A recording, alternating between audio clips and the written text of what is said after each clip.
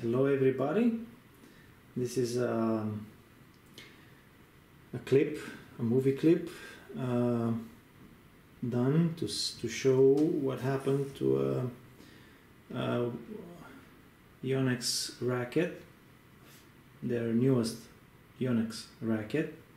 It's a V-Core 98 and um, it's 305 grams and this is bought about approximately two weeks ago. And my son a junior 12 years old junior playing with it.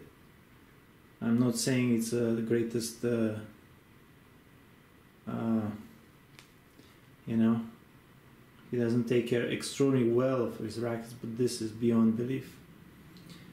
So what you're gonna see here is how the paint peeled off the frame even in the areas which you cannot hit on the ground.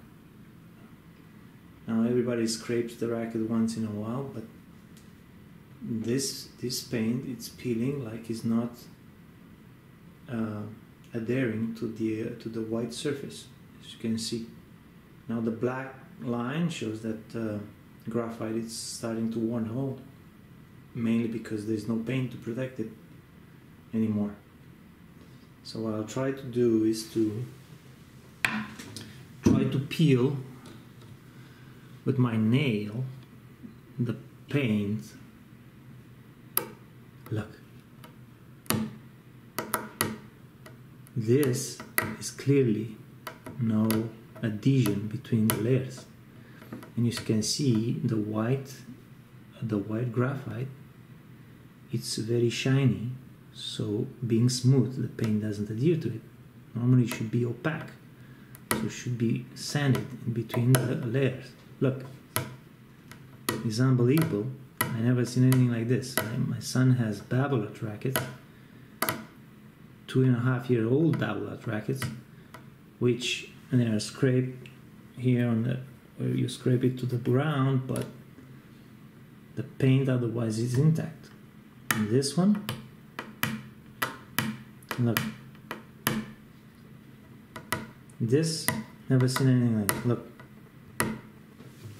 And now this is what's left on the table. The paint. Now this could be either a lemon let's call it like this like the car or um, uh, something technologically very wrong, which will probably ruin their brand.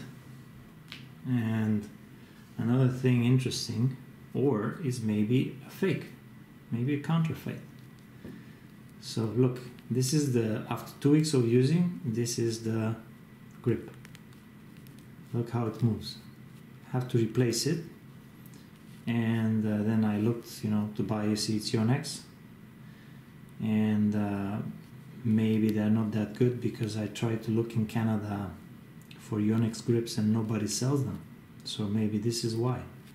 At 12 years old, after he just played for two weeks with it, not even that long, and the grip moves, and the paint is peeled up almost entirely on the on the frame that will change the dynamic of the racket will make it lighter. I mean it's i'm not saying it's a lot of grams but there are some grams there you lose. Also um, uh, here on the side you have peeling on the other side a bit of chip but mm, but it clearly just peels off. Okay now as you can see this is uh, Yonex brand. This is Yonex 98 this we have here the co- the production code I assume so they can find out what batch was this when was produced and why it's like this. And here you have the grip size and the tension the, the best tension you can uh, and here you have somewhere here you have the weight of the racket I think. Okay so uh, you see? So that's kind of it. This is if this is a Yonex product I I doubt they're gonna survive comparing with the other pro other people. Otherwise it's a very good racket but I'm only gonna stick with this if it's if it's spilling like this. With no protection this this uh, graphite will uh, have holes in it in no time. Thank you very much for watching. Goodbye. Yonex